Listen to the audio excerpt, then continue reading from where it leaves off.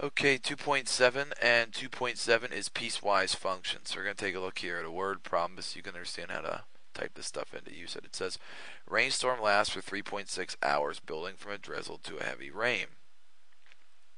And um, then back to drizzle again. The rate is given by these formulas. Okay, so here we go. Um, where t is in time, what's the total rainfall? Basically, it's saying 3.6 hours. All right saying how long it went for. So what we're saying is if the rain lasted in between 0 and 2 hours, I plug it into this equation. If it lasts between 2 and 3.6, you plug it into this one. This is 3.6. Meaning, I plug it into this equation down here because 3.6 is in this zone.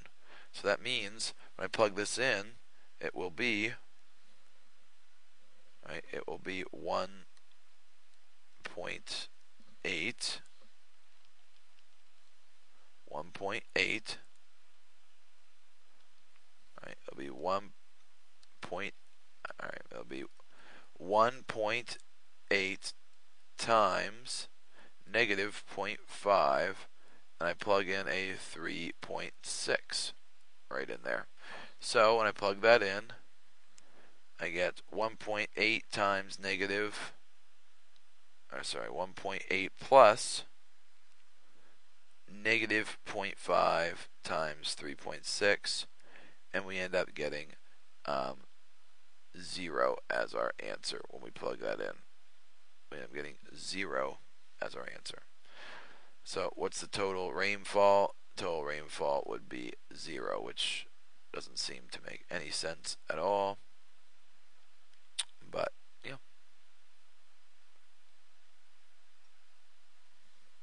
and let me just double check that here. 1.8 um, minus 0.5 times 3.6 oh sorry. Oh that was 3.6 yeah and I'm getting zero which doesn't make any sense. If it rained that long then there is um, no inches of rainfall but that's what's showing up. All right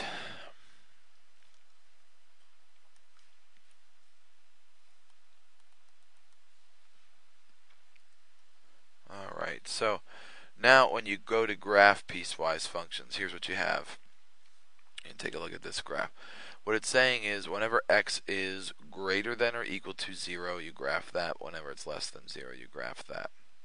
Okay, well, here's what I'm going to do. I'm going to draw a dotted line here. And this dotted line is at x equals 0. And here's basically what it means everything in this direction is less than 0 and everything in this direction is greater than 0, right? So what it's saying is you need to graph this line right here when it's less than 0. So the intercept is right here at 3. There's the intercept. And what it's saying is you're supposed to go down 1 and right 1. Down 1, right 1, down 1, right 1. Or you go up this way.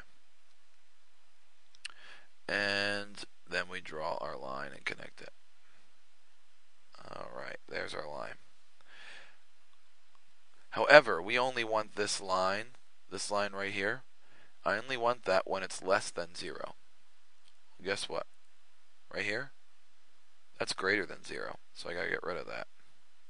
I only want it when it's less than 0, which is everything on this side. Okay. Next, I need to graph of that line right there. Well, the problem is this right here. You've never graphed it before, so you're going to have to do, you're going to have to make a table. Well, since I only want items that are 0 or greater, let's plug in 0, 1, 2, and 3. When I plug in a 0, square root of 0 is 0, plus 4 is 4. Plug in a 1, square root of 1 plus 4 is 5. Plug in a 2, I get a weird decimal. So now, when I plug in a 3, I get a weird decimal. When I plug in a 4, right, plug in a 4, square root of 4 is 2, 2 plus 4 is 6. So here's what I have. I have 1, 2, 3, 4, and there's a point.